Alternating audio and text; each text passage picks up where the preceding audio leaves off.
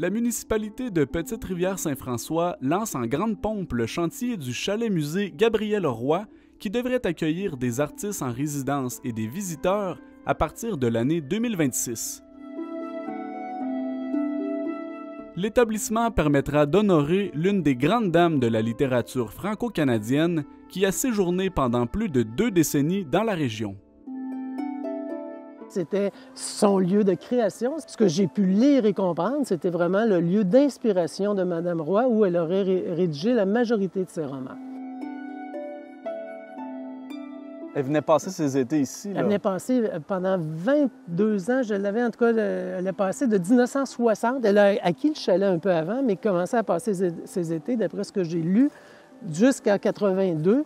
Euh, probablement pas tous ses étés. J'imagine qu'il y a eu d'autres activités, mais pendant 22 ans quand même, c'était ici où essentiellement elle venait se, elle venait se recueillir et avoir aussi, je pense, elle avait des, des amitiés sur le terrain autour ici mais c'était essentiellement son lieu de création durant l'été. L'intérieur du musée a été pensé par le musée de Charlevoix pour se remémorer la vie de Gabriel Roy. C'est sûr qu'il faut comprendre que c'est un petit chalet, ben c'est un chalet, et euh, ce qu'on vient rechercher ici, c'est vraiment un lieu d'inspiration. Donc, euh, il n'y aura pas de transformation majeure dans le lieu, dans la partie habitable du chalet c'est revoir aussi, c'est de revoir où est-ce qu'elle accueillait les gens, où, est-ce qu'elle écrivait, parce que c'est quelqu'un qui était apparemment très structuré. Ça aussi, c'est selon ce que j'ai lu, qui, avait quand même le matin, elle écrivait, ensuite y avait euh, ses sorties en campagne. Donc, euh, son, lieu de création, le lieu où elle recevait, et euh, on va en valeur tous les, romans, tout ce qu'elle a, les, photos avec ses amis, dont René Richard. Et euh, sa dactylo, l'endroit où elle travaillait, sa chambre à coucher, des choses intimes quand même. Et aussi euh, du matériel que je ne connais pas en ce moment, mais que, détient le musée de Charlevoix, qui a déjà fait quand même une exposition sur Madame Roy il y a quelques années. Je ne connais pas la date exacte, mais euh, donc il y, a du matériel qui, est, qui est au, musée, au musée de Charlevoix. Le parcours muséal rendra également hommage à l'œuvre littéraire de l'écrivaine manitobaine. Dans le, concept développé par le musée, les pièces vont être associées à un ou deux romans. C'est euh, Ces enfants de ma vie, La petite poule d'eau, Bonheur d'occasion, les lieux qui vont essayer de retracer, de mettre plus en valeur euh, certaines étapes de la vie de Madame Roy. Et dans le chalet, il y a quand même une partie, parce qu'au euh, moins on a la chance d'avoir une partie qui est le garage, qui est vraiment pas agréable aujourd'hui, pas du tout, mais qui nous permet de faire une transformation pour pouvoir faire une petite zone de visionnement, une mini-boutique, un, lien avec le parc extérieur, le parc cet été qui chantait. Donc la partie garage va être la partie qu'on va pouvoir transformer et euh, aussi pour faire une entrée accueillante, parce qu'en ce moment, on arrive sur le terrain, on cherche l'entrée, mais l'entrée sera pas, finalement, sera, sera plus du tout l'entrée actuelle. Euh, donc, ça va être dans le garage qu'on va faire, euh, qu'on va transformer ça pour accueillir les gens.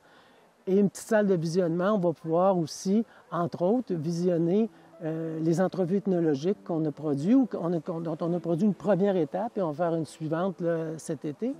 Donc, euh, où c'est des, gens qui ont. On va, on, va capturer, je vous dirais, la mémoire vivante des gens qui ont côtoyé, qui ont connu Mme Roy.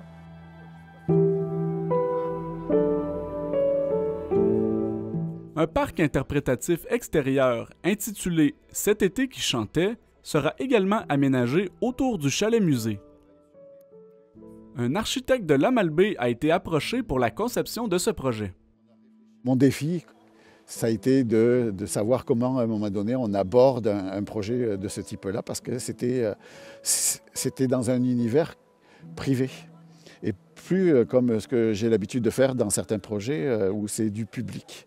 Et justement, avec le fait qu'on envisage que ça soit aussi une résidence artistique qui, qui va accueillir des artistes qui vont être présents, et jumeler euh, la visite avec quelqu'un qui va venir créer, c'était, euh, il y avait un double défi. Il fallait garder un, certain sentiment d'intimité. Exactement. Et euh, en plus de ça, il fallait aussi conserver pour moi, le projet que, Gabrielle Roy avait quand elle venait créer ici l'été. C'est qu'elle venait s'extirper du monde urbain de toutes les mondanités, puisqu'elle était quand même déjà connue. Et puis, euh, donc il fallait qu'elle se retrouve dans un univers où euh, elle était euh, tranquille pour pouvoir créer puis inspirer. Donc le lieu est inspirant, il est, parce qu'il y a le paysage, parce qu'il y a les gens aussi de Petite Rivière Saint-François avec qui elle a lié pendant ces 30 années où elle a passé ici des amitiés fortes.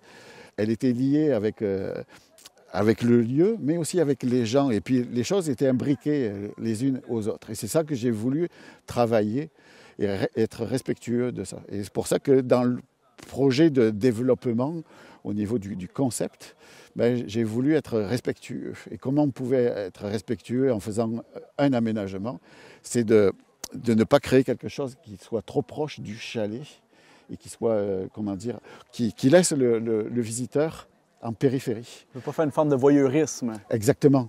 C'est, oui, on invite les gens à la connaître, mais à être encore respectueux, comme si elle était encore là en train de créer. C'était ça l'idée.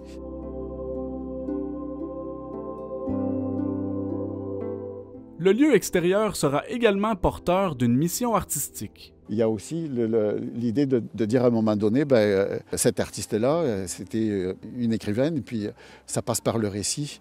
Et on, sait bien que le Québec, c'est un, c'est un pays de, de, récits et on a voulu créer un espace aussi où on allait pouvoir s'exprimer, où des conteurs allaient pouvoir venir raconter des histoires. Donc d'où l'idée de faire un amphithéâtre dans un élément naturel où les choses au niveau de l'espace, de la configuration, se prête au jeu. Ça sera un petit agora en quelque eh, sorte. Exactement, mais en plus de ça, on ne le voit pas bien là, mais il y a comme un petit dénivelé. On va venir installer des bancs de façon très naturelle. Et puis, euh, écoutez, l'arrière-plan pour pouvoir euh, venir raconter des histoires ici, c'est fantastique. Ce sont plus de 500 000 dollars qui seront investis dans le projet qui devrait être inauguré d'ici l'été 2026.